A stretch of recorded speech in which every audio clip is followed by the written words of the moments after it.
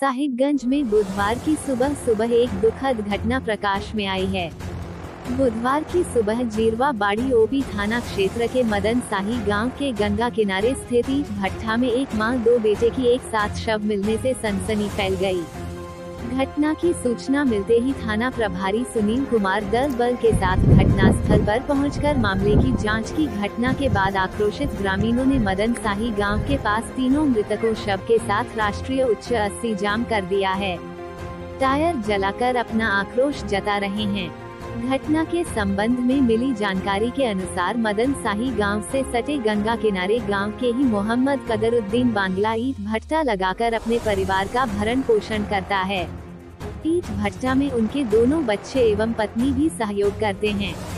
मंगलवार बुधवार की रात लगभग दो बजे बजे बारिश होने लगी, जिससे ईट भट्ठा में ईटा बचाव के लिए मोहम्मद कदरुद्दीन की पत्नी शकीला बीवी उम्र लगभग 50 साल, पुत्र मोहम्मद अली शेर उम्र लगभग 25 साल एवं पुत्र मोहम्मद गुरशेर उम्र लगभग 22 साल। ईट भट्ठा पर ईट को बचाने के लिए ढकने गए थे। सुबह तक नहीं लौटने पर जब वहाँ पर कदरुद्दीन अपने छोटे बेटे के साथ गया तो देखा कि तीनों का शव एक दूसरे पर पड़ा हुआ है। घटना की सूचना गाँव में आग की तरह फैल गई। तत्काल भारी संख्या में लोग घटना स्थल पर पहुँच गए वहीं से ग्रामीणों द्वारा पुलिस को सूचना दी गई मौके पर पुलिस पहुंचकर मामले की जाँच पड़ताल की इसके बाद ग्रामीण तीनों शव को लेकर राष्ट्रीय उच्च पथ अस्सी को मदन साही गाँव के पास जाम कर दिया प्रत्यक्षदर्शियों का कहना है कि तीनों मृतक के शरीर पर चोट के निशान हैं। प्रथम दृष्टिया गला दबाकर एवं पीट पीट कर हत्या किए जाने की आशंका स्थानीय ग्रामीण जता रहे हैं। घटना के संबंध में जो स्थानीय लोगों ने बताया उसके अनुसार रात में गंगा किनारे रंगदारी के लिए 10, 12 की संख्या में असामाजिक तत्व आए हुए थे। अज्ञात लोगों द्वारा रात में नाव चलाने वाले नाविकों को भी पीटा गया है। हालाँकि पुलिस इसकी पुष्टि नहीं कर रही है। जीरवा बाड़ी थाना प्रभारी सुनील कुमार ने बताया कि घटना की जाँच की जा रही है। अभी रंगदारी जैसी कोई बात सामने नहीं आई है। घटना का स्पष्ट कारण अभी पता नहीं चल पाया है। घटना के कारण का पता भी नहीं चल पा रहा है। इधर आक्रोशित ग्रामीण शव के साथ राष्ट्रीय उच्च पथ पर लगातार टायर जलाकर सड़क जाम करके पदाधिकारी लोगों को समझाने बुझाने का प्रयास कर रहे हैं, समाचार लिखे जाने तक सड़क जाम जारी था। रिपोर्ट प्रवीण कुमार, स्टार अभी तक साहिबगंज। हम लोग को सुबह शेरी चार बज के लमसम में खत्म हो जाता है, ठीक है? उसके बाद हम लोग नमाज़ पढ़ के निकले तो पता चला कि इधर आदमी लोग आया कुछ काम से। वो लोग जानकारी दिया कि लोग जो है यहाँ पर मृत तो हो गया है। तो हम लोग आए वहाँ से। देखें, देखने के बाद ये लोग को देखें तो देखें।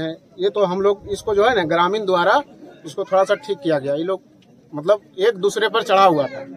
मार मार के एक दूसरे को चढ़ा हुआ और ये लोग को, तीनों को लग रहा है कि नरेटी दाब के मारा गया है। और उधर का मांझी कुछ, वो लोग बताने के लिए तैयार नहीं है। लेकिन हम लोग जब आए तो वो बता रहे थे कि हम लोग से भी रंगदारी मांग रहा था, बदमाश आया था और हम लोग को भी मारपीट किया है। और इधर ईटा भी बनाने वाला था कुछ लोग। ईटा बनाने वाला भी बोला है कि हम लोग जब देखें कि बदमाश आया, गोली फायरिंग किया, उसके बाद हम लोग भाग गए। ये लोग नहीं भाग पाया। बहुत मजदूर टाइप का लोग है ये लोग। कई सालों से ये लोग ईटा बनाता है और अपना भट्टा लगाता है। यही भट्टा रात में आग लगाया, आग दिया है और बरसात के रात में बरसा हुआ, जिसमें कि ये लोग आया था पन्नी चढ़ा देंगे। अब इसके साथ में रात में बदमाश लोग आया और पूरे तीनों का नरेटी दाब के मारा हुआ है। अब कौन बदमाश था ये तो हम लोग नहीं बता सकते हैं क्योंकि रात में तो हम लोग थे नहीं। लेकिन जो भी हुआ साजिश के तहत किया गया है और इसको हत्या किया गया पुलिस को सूचना दी कि नहीं? हाँ पुलिस को सूचना दिए हैं बुलाए कि कुछ मिनट में आ रहे हैं। हाँ बोलिए। कैला अंसारी हाँ। मेरे बहन को नाम है शकीला खातून और भगना का नाम है अली शेर। और एक भगन वो आर है जो उसको नाम है गुलशेर।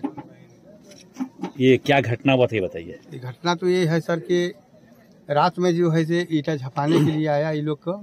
साथ में जो है ऐसा घटना हुआ। और घर को परिवार लोग जो है से वो लोग नहीं जाना कि ये लोग गया तो क्या हो रहा उन लोग के साथ में। सवेर जब हुआ तब यहाँ आदमी जब पहुँचा तो देखा कि ऐसा ऐसा घटना हुआ। क्या इसमें इससे हम देखते हैं सर कि ये लोग तो खाने कमाने वाली पार्टी है। हम्म। एक मिनट। हाँ बोलिए क्या ईटा उठा इससे कोई नहीं मारा गया। इसका जो है से नेगेटिव पकड़ को दावा गया। अरे कम से कम वो रखा वो तो हट गया थोड़ा सा। सम्माननीय चीज़ है क्या घटना घटी थी हमरा बहिनी है वो ईटा भट्टा मार दिया रह के चल गया घर। और घर जाने के बाद में एक बजे पानी पड़ा तो बोला कि जाते हैं वहाँ पानी नहीं होता। पन्नी को निक झाप देंगे। और सब यहाँ ईटा बनाता था तो बोलता था कि गोली छूटा। तो हमरा वो सब तो सब आदमी सब बोला कि वो सब भाग गया ये नहीं भागा। अब बस हमरा बहन सबके नदी दाब के जान मार दिया और की बोलेंगे? क्या लगता है कि आखिर कौन नरेटिव दाबी है? क्यों? नराठी बोला से उ, उ सब नहीं बोलता है कि बदमाश आया। हम देखे पाँच एगो मोटरसाइकिल था। और गोली भी फूटा। मिली कि मदन शाही ईट भट्टा में तीन व्यक्ति, जो कि दो पुत्र और एक माता थी, वो ईट ईट बनाने कार्य कर- किया करती थी। वो रात में जब आंधी तूफ़ान चला तो उस वक्त अपने घर से अपने जो बनाए हुए ईटों को ढकने के लिए आई थी सुबह अगले सुबह तक वो जब अपने घर नहीं पहुँची और तब यहाँ जब मजदूर लोग काम करने आए तो उन्होंने देखा कि वो तीनों मृत अवस्था में थे, जिसकी सूचना उनके द्वारा थाना को दी गई। अभी हम लोग यहाँ पर आए हैं और जाँच पड़ताल कर रहे हैं। आज की कार्रवाई की जा रही है।